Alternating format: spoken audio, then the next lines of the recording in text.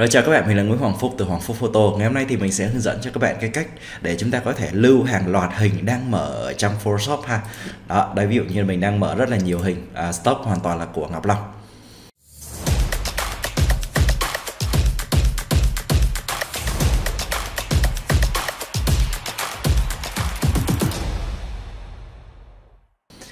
Rồi, thì để lưu được hàng loạt như này thì chúng ta có thể sử dụng uh, một cái tính năng rất đơn giản thôi. Các bạn vào menu file này, chọn là script này và các bạn chọn là image processor ha. Thì đó thì nó sẽ hiện cái bảng là image processor. Ở đây thì chúng ta sẽ có 4 phần, phần 1 2 3 4 ha. Phần 1 đó là chúng ta sẽ chọn cái những bức hình ở đâu mà chúng ta muốn lưu. Thì ở đây các bạn sẽ chọn mặc định thì nó sẽ là ở đây này. Thì các bạn hãy chuyển chọn lại là use open image có nghĩa là lưu những cái bức ảnh đang được mở sẵn ở trong Photoshop ha.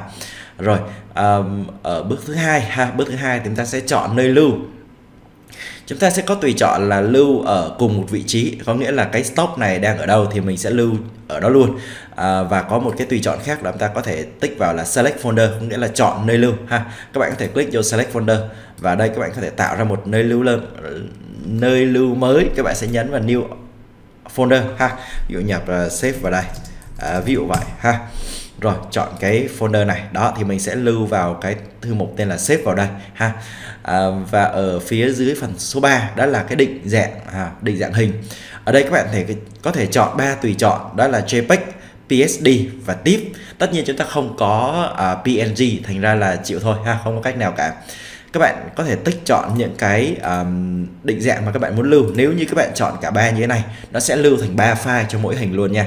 Thì ở đây mình sẽ chỉ chọn đó là lưu JPEG thôi ha. Quality mặc định nó sẽ để 0 hoặc 5 hoặc 8 gì đó ha.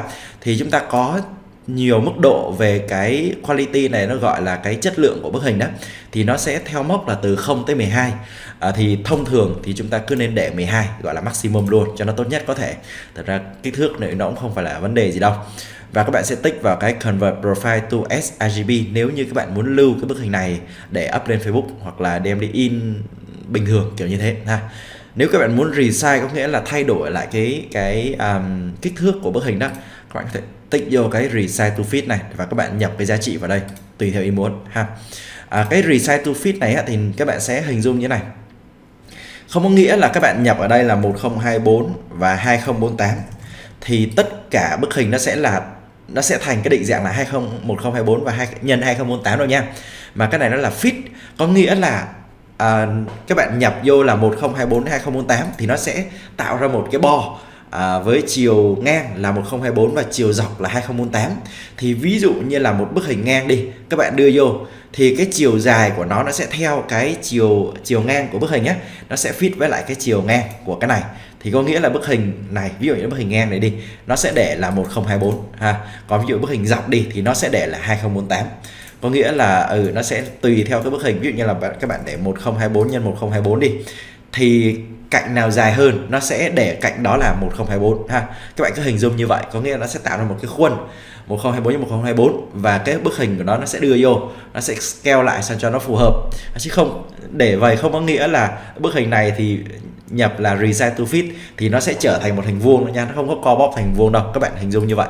Ha, tương tự với xếp SPSD và tip, ha. Đối với phần số 4 thì nó sẽ là tùy chọn là chúng ta có muốn chạy action không. Action đây thì ví dụ các bạn muốn tạo action plan màu hoặc là S action là chèn chữ ký thì các bạn có thể tích vô để chúng ta chọn cái action chèn chữ ký tùy ý các bạn, ha. Và các bạn có thể tích vào cái include ICC profile là cái sRGB này vô cái file hình cái file hình của chúng ta à, sau đó các bạn chỉ đơn giản là nhấn run thôi ha và tự động Photoshop nó sẽ chạy.